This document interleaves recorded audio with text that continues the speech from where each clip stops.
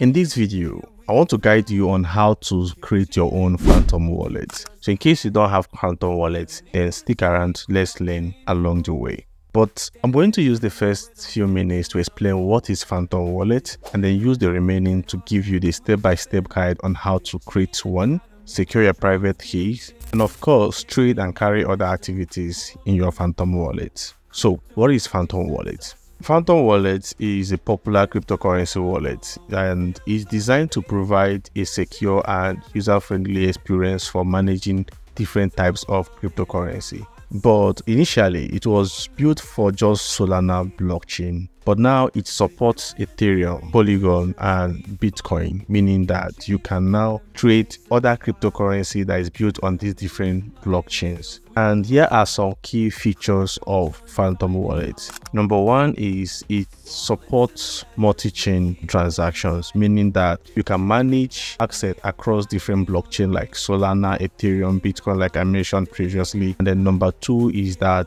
it supports NFT and DeFi integration integration, meaning that you can access and manage NFTs and of course use different types of decentralized applications. Three is that it has a lovable user-friendly interface, meaning that it is designed to be easy to use and of course make it more simple for a newbie who is coming into the crypto space. But the fourth one here is that it is a non-custodian wallet. Just simply have this in your mind. If you have full control over your private keys and seed phrase, then you are in custody of your money. That's just what it means. So without wasting much of your time, let's go straight into the tutorial part of this video. See you over there. So to download the Phantom wallet, you need to go through the official website, which is phantom.app. Now open the official website. I recommend the official website so that you download the right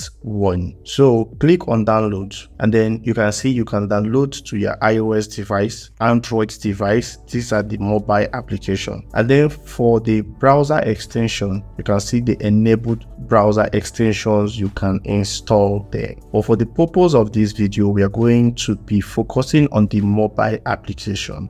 And on the mobile application, I am using Android device. If you're using iOS, please use the iOS patch sub option and install yours. For me, I'll clicking on the Android. Now you can install and once you've done that, you can click on open. Once you click on open, you have two options here, either to create a new wallet or to import an existing wallet. If you already created a Phantom wallet before now, you can import it by clicking on this import an existing wallet option and you can authenticate this device all right and then click on next now you have three ways to bring down your old account either by secret recovery phrase. Those 12 or 24 digit words you have you can use that means or import via private keys. Or you can as well connect your hardware wallet to import yours. But in case you are just creating a new one for the first time, please go back and click, click on create a new wallet which is this place. Authenticate your device so that you can use your fingerprint to open yours and then click on next, either up here, here, or this down one here. And this is your secret recovery phrase. And this is where it gets more interesting. Remember, without your secret phrase, the wallet is not yours. What it means is that the whole idea of decentralization is for you to be in control of your funds. So there should be a code you should have by you, only you, meaning that whoever that gain access to this secret recovery phrase can use it to log in your account and make withdrawal from your account meaning it should be secret and it should never be revealed to anyone. Store it in a secret place. I do not recommend you storing this in Google Drive. I prefer you store it in a piece of paper and then hid it somewhere. But somehow you should be able to have a way of passing information to your family in case of tomorrow. Anyway, this particular one we are seeing right now is for a tutorial video. At the end of this video, I will be deleting this wallet. So you might might try this secret phrase and you're not going to see anything of such. So once you've gotten to this place, copy it and then go and save it properly. Once you've done that, you can now click I have you can now click on next or okay, I have saved it somewhere. Click, say yes. So it is loading. I have created my Phantom wallet. All right. The next you need to do is to agree on the terms of service and then get started. I will use my fingerprint to open it. And do I want to get update notifications? If yes, I can click enable. If no, I can say not now. But for me, I will click enable. So if I were you, I would like to enable it so that you get notification anytime. But for security reasons, because of where you find yourself, you don't want people to see that reflecting on your phone or notification popping up on your phone, you can as well disable that by not accepting. So I click on understood and my wallet is created. All right, to get started, to buy crypto, transfer crypto, every information you can read them here. The options you see here, first off,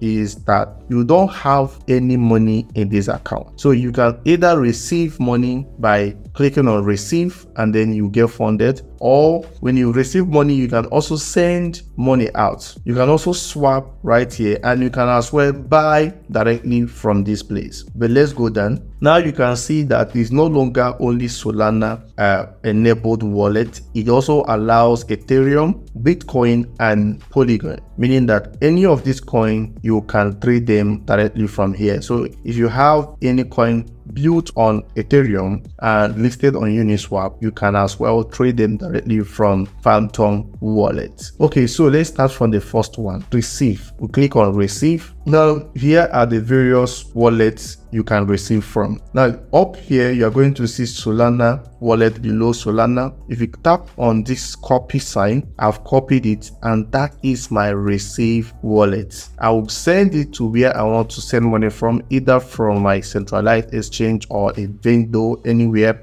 and then you get funded to this place. Same applicable to Ethereum, Matic and Bitcoin. Now, if you want to send money out, you click on send, then you choose the particular coin you want to send out to that you've copied the wallet. If it's Solana, you click on so and then you paste the wallet address you are sending it to up here and then you can click on next if you have money but i don't have any money here this i want to send five so and insufficient balance. Once that is done i click on next and i will send the money out. Maybe later before the end of the video i will show you how you can do that. We'll do the practical part. And the next option is swap option. Now these options allows you to swap different uh, coins between. Now if you notice that solana is about to drop or the market wants to go down you can as well swap your coin directly to this USDC or USDT depending. All right, so if you click on this column here, the USDC column, you see the various coins you can swap to. You can as well use it to buy. If you want to swap to Ethereum, meaning you're going to send to Ethereum, you want to swap Solana to um, Theta or Polygon, you can do the same.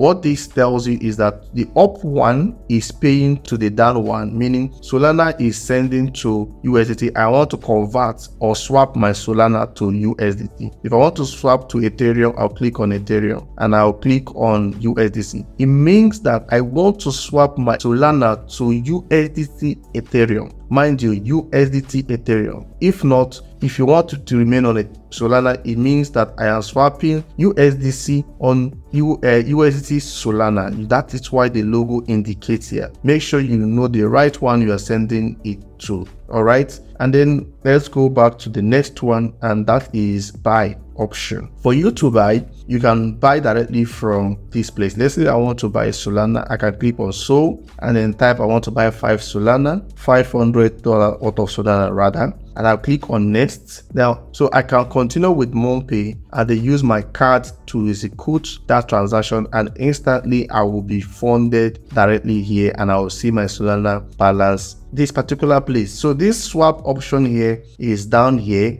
and here we show you your collectibles in case you have some collectibles or NFTs on this place. You can click on this button here and then this is the same swap button and then here shows you your history. If you have sent coin, you've traded any coin, all your transaction activities are all recorded on this place. And then this is the browse section. Say you want to buy a coin and the coin is listed on Raydium, you can quickly click on Raydium and it will open for you. And then before then, you should have funded your account with Solana. And then you click on agree to terms, you enter Raydium, and then you have to connect your wallet from here and then choose Phantom Wallet directly and then click on connect. Now you can see the wallet is connected rather at this place, no longer connect. And then you have Solana to Raydium. So say you want to buy any coin, maybe contract address is given you and you have some Solana to buy the coin. You click here, the radio button, and then paste the contact address on this particular place. And the name of the token is going to display. And then you choose the amount you want to buy. Click on on file or view token list and then you continue from there. But let's go back and fund this wallet with some money and then continue from there. Okay, so I'll click on receive and I want to send via barcode.